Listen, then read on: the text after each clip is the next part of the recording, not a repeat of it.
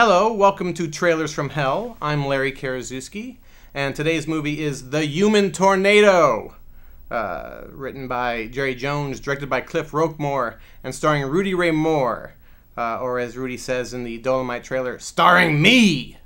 Uh, I have a question for you. Is this the greatest trailer of all time? I also have an answer yes admission I can be had. If you crave satisfaction, this is the place to find that action. Yeah, it was back in the days when you could cuss and show tits in a trailer without a red band. It's completely insane, and I mean that as a compliment. It's definitely a picture that will put you in traction.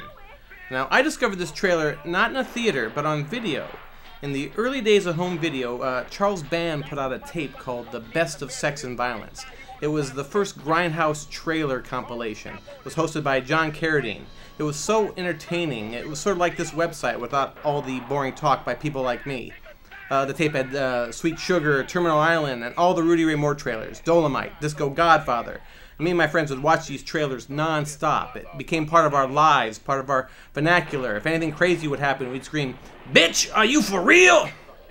There, there's so many great lines in this movie. You know, he thinks he's bad, ain't got no class. I'm gonna wrap this shotgun up his motherfucking ass.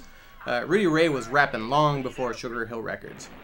I saw Rudy in concert, and I actually even got to meet him. Uh, Scott Alexander and I tried putting together a biopic about Rudy's life, taking him through the Chitlin circuit, selling party records out of the back of his trunk, making black exploitation films. We met him, and he didn't disappoint. When he says starring me, that's true. He was Dolemite. The project fell apart. It was sad. Rudy felt really not appreciated by younger comics. He felt that he broke ground and not enough people cared. The Human Tornado was damn good, but it's probably not the best Rudy Ray film, which is a movie called Petey Wheatstraw, The Devil's Son-in-Law, which also features Wildman Steve, another underground black comedian that I'm fond of.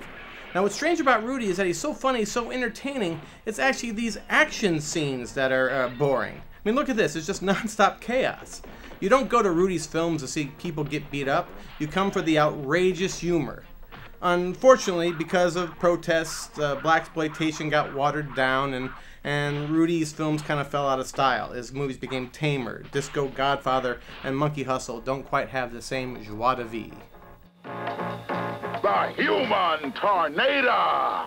You satisfaction, this is the place to find that action. Come into this theater as its sex attraction.